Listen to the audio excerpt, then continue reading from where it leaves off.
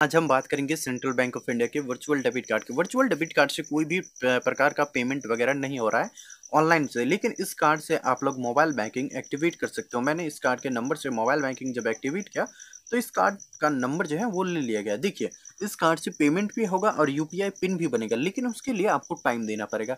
Minimum आपको अभी, देखिए, अभी एग्जैक्ट टाइम नहीं बोला जाएगा कि तीन मंथ देना है या छः मंथ देना है या एक साल देना है, क्योंकि इस कार्ड को लॉन्च किए हुए काफ़ी दिन हो गए, दो तीन मंथ हो गए हैं। लेकिन इस कार्ड से किसी भी प्रकार की पेमेंट्स वगैरह नहीं हो रही है।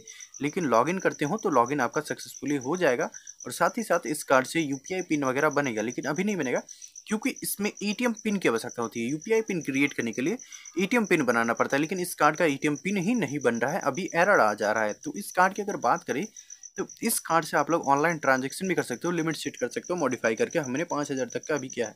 सॉरी, पचास हज़ार तक का किया है, लेकिन इस कार्ड से जब पेमेंट करते हैं तो पेमेंट डिसलाइंड बाय बैंक लिखा आता है। यानी कि बैंक ने ही पेमेंट को डिसलाइन कर दिया। अब ये किस कारण हो रहा है कि हो सकता है मेरे पास फ़िज़िकल डेबिट कार्ड है तो हो सकता है दो कार्ड एक ही अकाउंट से लिंक होने के कारण, क्योंकि फ़िज़िकल डेबिट कार्ड और वर्चुअल डेबिट कार्ड के नंबर दोनों अलग अलग होते हैं, लेकिन एक ही अकाउंट से लिंक है। इसीलिए ये एरर भी हो सकता है कि एक ही अकाउंट से दो एटीएम कार्ड से एक्सेस आ रहा है कि हाँ मनी डेबिट करेगा और मनी जो अकाउंट से ऐसा ही नहीं करता है काफ़ी सिक्योर सिस्टम होता है।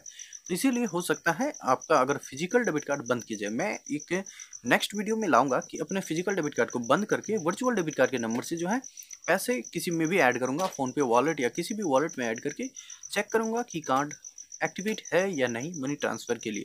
अगर वर्चुअल कार्ड को एक्टिवेट रखा जाए, हो सकता है ट्रांजेक्शन हो। लेकिन अभी फ़िलहाल इसमें न्यू अपडेट की ज़रूरत है, क्योंकि जब तक न्यू अपडेट नहीं आता है एटीएम पिन नहीं बनता है, तब तक जो है इस कार्ड का कोई भी उपयोग नहीं है, सिर्फ़ एक ही अभी यूज़ कर सकते हैं मोबाइल बैंकिंग एक्टिवेट कर सकते हैं इस कार्ड के ज़रिए। आई होप आपकी ये छोटी सी इन्फॉर्मेशन अच्छी लगी।